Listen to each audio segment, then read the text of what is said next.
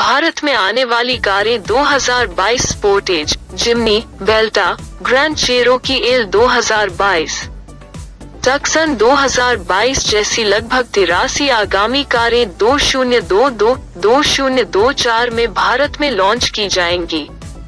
आने वाली इन तिरासी कारों में ये है किया स्पोर्टेज किया स्पोर्टेज एक पाँच सीटर एसयूवी है।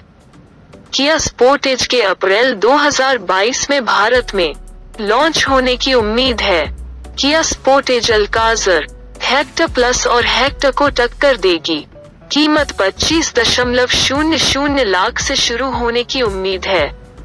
किया ने भारत के लिए अपने पहले टीवी विज्ञापन में स्पोर्टेज को प्रदर्शित किया है। स्पोर्टेज अनिवार्य रूप से किया का हुंडाई।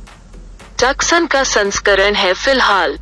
किया का कहना है कि स्पोर्टेज भारत में नहीं आ रहा है, अगर लॉन्च किया जाता है।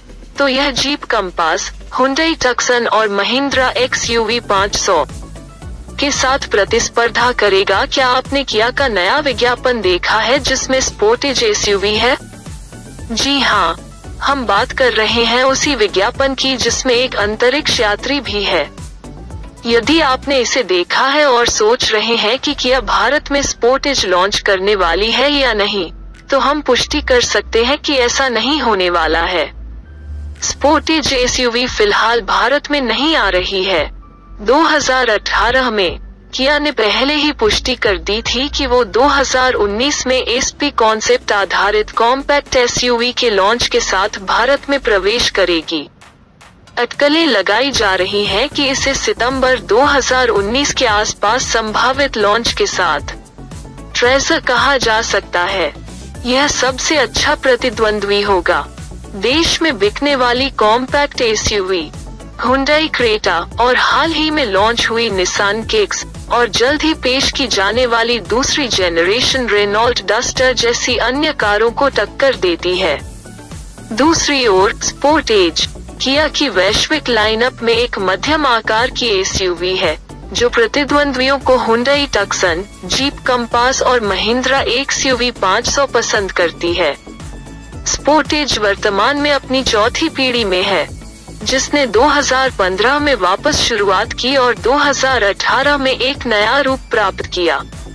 हालिया टीवी विज्ञापन में स्पोर्टेज फेसलिफ्ट है और यह वो संस्करण है जो 2020 तक भारत में आने की संभावना है। किया ने 2019 की शुरुआत से पहले भारत की योजनाओं का खुलासा किया, यहाँ बताया गया है कि स्पोर्टेज आकार के मामले में अपने प्रतिद्वंद्वियों की तुलना कैसे करता है।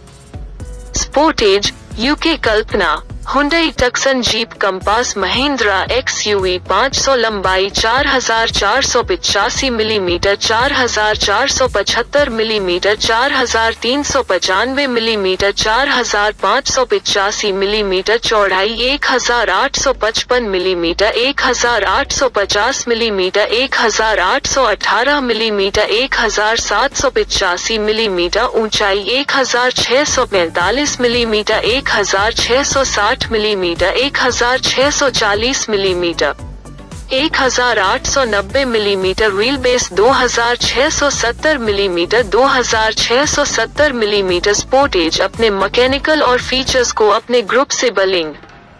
हुंडई टक्सन के साथ साझा करता है। यह समान दो दशमलव शून्य लीटर डीजल इंजन द्वारा संचालित है और इसमें छह एयरबैग एक panoramic sunroof wireless mobile charging और एक दस तरफा विद्युत रूप से समायोज्य ड्राइवर सीट जैसी सुविधाएँ मिलती हैं। टक्सन के साथ समानताएँ हमें यह सोचने पर मजबूर करती हैं कि क्या स्पोर्टेज को निकट भविष्य में किसी समय लॉन्च कर सकती है चूँकि कार निर्माता भारत में हर छह महीने में एक नया उत्पाद लॉन्च करने की योजना बना रहा है हमें उम्मीद है कि 2020 के अंत तक किया के पोर्टफोलियो में कम से कम तीन कारें होंगी। अगर लॉन्च किया जाता है तो स्पोर्टेज की कीमत 16 लाख रुपए से 21 लाख रुपए तक होने की उम्मीद है। एक्स शोरूम यह भी पढ़े किया भारत विशिष्ट इलेक्ट्रिक वाहन विकसित कर रहा है। 2022 तक लॉन्च होने की उम्मीद।